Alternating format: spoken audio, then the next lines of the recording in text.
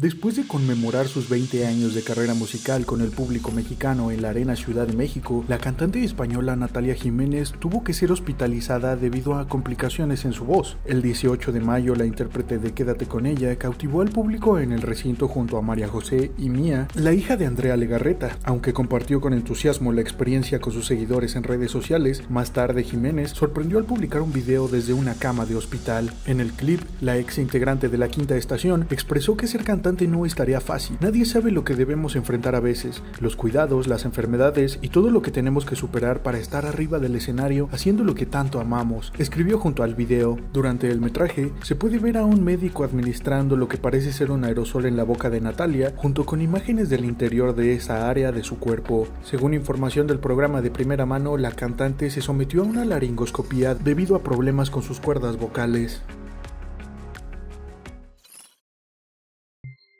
Mantente informado con el Universal y suscríbete a nuestro canal.